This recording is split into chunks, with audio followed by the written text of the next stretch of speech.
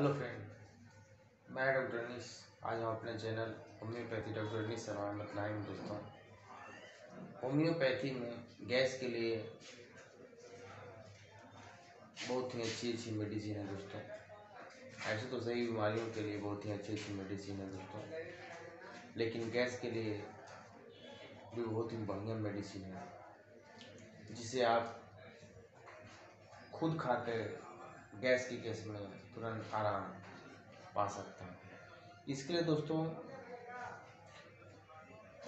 बहुत ही common medicine है दोस्तों। गैस के लिए ऐसे तो बहुत सारी मेडिसिन होती है, जैसे ओपीएम है नक्सफोम कारोवेज डाइकोपोलियम ये सब मेडिसिन है दोस्तों, गैस के लिए।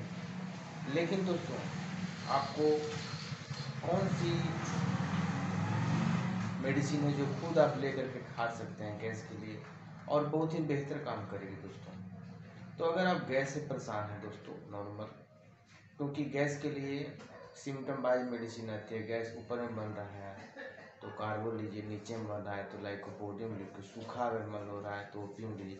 बहुत सारा प्रॉब्लम है दोस्तों, वो सब फिजिशियन समझ करके खाते रहना चाहिए। लेकिन गैस के लिए अगर आप नॉर्मल सा मेडिसिन खाना चाहते हैं तो उसके लिए एक मेडिसिन है, उस मेडिसिन का नाम है नक्स भूम आप नक्स भूम मेडिसिन दो से पावर में ले लें दोस्तों, और कुछ दिन सुबह शाम तीन गुण खाएँ। गैस के प्रॉब्लम से आपको हंड्रेड परसेंट निजात मिलेगी दोस्तों। कोई और मेडिसिन नहीं खाना है दोस्तों। लेकिन अगर और गैस में कुछ और प्रॉब्लम है, गैस से रिलेटेड प्रॉब्लम है दोस्तों कब्जियत रह रहा है, उसके बाद ज़्यादा गैस फॉर्म हो रहा है दोस्तों। तो आप नज़दीक के फिजिशियन से आकर के भी ले सकते हैं सलाह। ऐसे मेरा डाइजेस्टिव प्रॉब्लम्स पर गैस के बारे में, पूरा डिटेल और पूरा मेडिसिन के बारे में पूरा बताया हुआ है किस तरह का गैस है तो आप कौन से मेडिसिन खा सकते हैं।